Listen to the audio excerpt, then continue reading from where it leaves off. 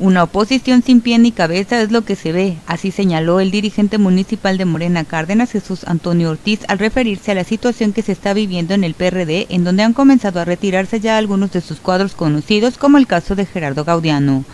Mencionó que la oposición se ve preocupada por ganar y obtener el poder, además de que aseveró que ha sido Morena el que ha logrado fusionar el agua y el aceite, ello refiriéndose a las alianzas que se han concretado ya como el caso del PRI y el PAN, destacando además que no se pueden poner de acuerdo ya que cada uno desde su trinchera piensa en el agandalle. Bueno, nosotros como partidos inmersos en este proceso electoral sabemos de la gran preocupación de los adversarios. A ellos les preocupa ganar, les preocupa tener el poder para enriquecerse, para seguir y continuar con ese sistema neoliberal.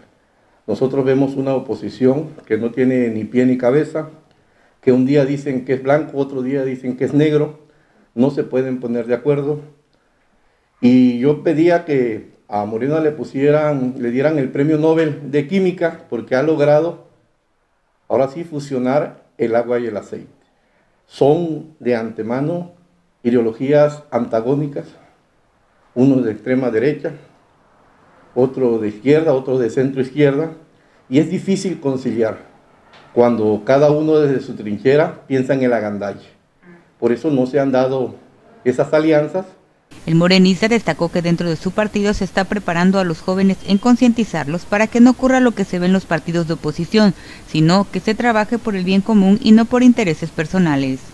Nosotros en Morena continuamos trabajando este proceso electoral y estamos preocupados en la próxima elección pero más ocupados en la nueva generación, en esa generación de jóvenes que se está concientizando y se está preparando para que en un futuro próximo no se den este tipo de situación.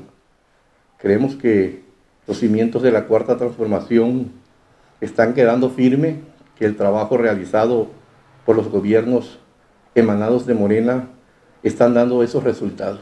Asimismo mencionó que en el partido en el que milita, todos los aspirantes se encuentran bajo la misma dinámica en la que se entenderá que el partido cuenta con estatutos firmes y que no se busca el poder por el poder, sino que será el que esté mejor posicionado y el que garantice el triunfo y la continuidad de la cuarta transformación quien abandere las candidaturas.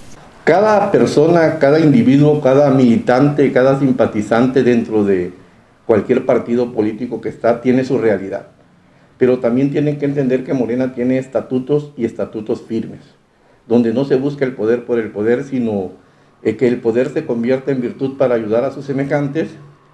Y pues aquel que piense o que tenga una idea de pensar primero en la persona de él, pues Morena busca el bien común. Y creo que hemos estado trabajando, concientizando a la gente para buscar ese bien común para buscar el poder, convertirlo en virtud al servirle a nuestros semejantes.